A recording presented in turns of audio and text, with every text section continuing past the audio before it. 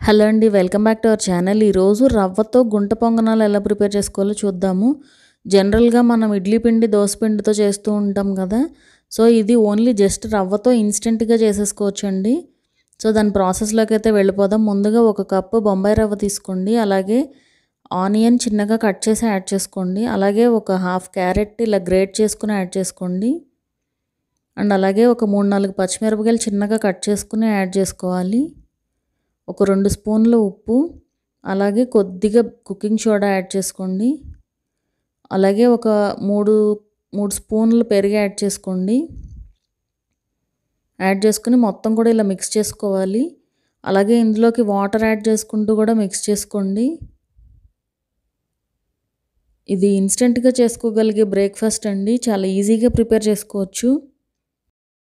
And taste కూడా బాగుంటుంది. మనం ఏదైనా నిలవ పచ్చడితో సర్వ్ చేసుకున్నా కూడా బాగుంటుంది టేస్ట్ సో ఇలా కలిపేసుకుని ఒక పది నిమిషాలు పక్కన పెట్టేసేయండి. పది నిమిషాల తర్వాత రవ్వ అనేది పీల్ చేసుకుంటుందండి ఆ వాటర్ని. సో గట్టిపడుతుంది. ఇందులోకి ఇంకొంచెం వాటర్ యాడ్ చేసుకుంటూ మనకి ఇడ్లీ పిండి దోశ పిండి కన్సిస్టెన్సీ మనం గుంత పొంగనాలకి ఎలా అయితే పెట్టుకుంటామో ఆ కన్సిస్టెన్సీ వచ్చే వరకు ఇలా కలుపుకోవాలి. ఇప్పుడు ఈ ప్యాన్ తీసుకుని ఇందులోకి కొద్దిగా ఆయిల్ యాడ్ చేసుకోండి. యాడ్ చేసుకుని ఇలా యాడ్ చేసేసుకోండి పిండిని. చాలా ఈజీగా ప్రిపేర్ చేసుకోవచ్చండి. ఫెయిల్ అవుతాయి అనే ప్రాబ్లం అయితే లేదు. పర్ఫెక్ట్గా వస్తుంది. మూత పెట్టేసి ఒక త్రీ టు ఫోర్ మినిట్స్ పాటు ఫ్రై చేసుకోవాలి లో నుంచి మీడియం ఫ్లేమ్లో. మీకు అక్కడ కలర్ తెలుస్తుందండి. కలర్ చేంజ్ అయినట్టు. సో ఇలా చేంజ్ అయ్యాక రెండో వైపుకి కూడా తిప్పుకొని ఫ్రై చేసుకోవాలి. రెండో వైపు అయితే మీకు ఎక్కువగా కలర్ రాదండి. ఎందుకంటే మనకి ఎక్కువగా పొంగదు కదా. సో కలర్ అయితే రాదు.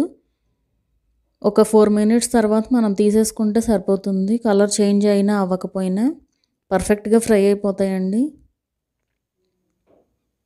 సో ఇలా దానికి ఆ ప్యాన్కి టచ్ అయిన పార్ట్ మాత్రం కొద్దిగా కలర్ చేంజ్ అవుతుంది అంతే. సో అంతేనండి. రెడీ అయిపోయాయి. చూసారు కదా చాలా సింపుల్ స్నాక్ అండి. చాలా ఫాస్ట్గా అయిపోతుంది. ఇన్స్టెంట్గా ప్రిపేర్ చేసుకోవచ్చు. జస్ట్ మనకి టెన్ మినిట్స్ వెయిట్ చేస్తే చాలు కదా పిండి కలిపిన తర్వాత. మా వీడియో కనుక మీకు నచ్చినట్లయితే సబ్స్క్రైబ్ చేసుకోండి. అలాగే ఆ పక్కన ఉండే బెల్ ఐకాన్ కూడా క్లిక్ చేయండి. సో దట్ మా అప్డేట్స్ అన్నీ మీకు వస్తూ ఉంటాయి.